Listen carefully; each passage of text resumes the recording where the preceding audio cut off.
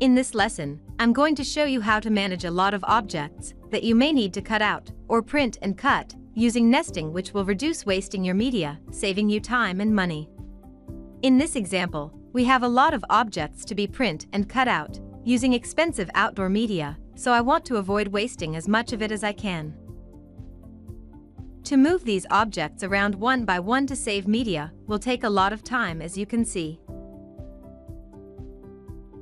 To avoid this, we can use the True Nesting module, which is located in the Plugins drop-down box.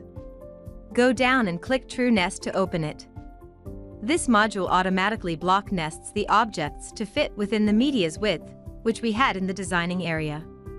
In this area is a list of all the objects, which can be switched on or off from the object display on the right-hand side as follows. Below this is a thumbnail of each object I select in the list along with its width and height, and I can add or remove the number of copies by clicking here. I can also view all the objects in wireframe by checking this box on, then off again to see the objects in solid view. In this area I can set objects to fit inside each other by checking on Include Holes. I will show you how this works later. Here I can set the nesting to allow the objects to rotate by 45 degrees. Using this option will depend on your artwork and project. I can also set the minimum distance each object is to be set apart by setting this value. For example, if I set this to say half an inch you can see the result in the display. Now all the objects are set to be a minimum half an inch apart. Once I have set the parameters and copies I wish to work with and reduce the media being used, I click True Nest here, and the module will attempt to interlock the objects as best it can.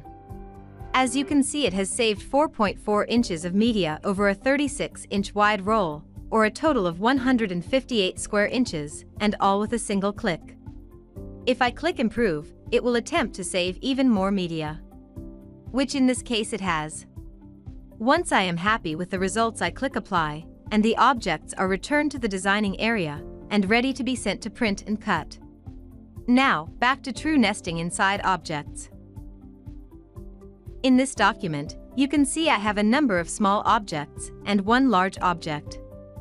If I open these in the True Nesting module and click True Nest, and with inside holes checked on, you can see how the arrows are nested inside the larger object. If I switch this off, you can see the arrows remain outside of the larger object. If I click it back on, they nest inside the larger object again. Once I am happy with the results, I can return the nested objects back into the designing area.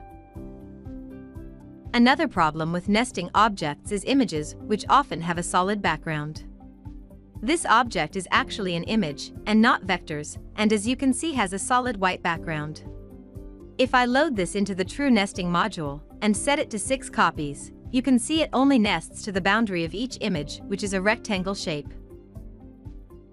To overcome this, we simply add a clipping path to the image. To do this select an image. Next, click on Create Cut Contour here. And the module will open and automatically detect that the object is an image and ask if you wish to trace the bitmap. Click Yes to proceed, and then click Trace. Uncheck Keep Holes. Now click Apply, then check Add Clipping Path. Next, click Accept, and the image with its clipping path will be returned into the designing area. Now, open the object in the True Nesting module, and set the number of copies to 6 again. Next, click True Nest, and now the image will interlock, instead of only nesting to the boundary of the image.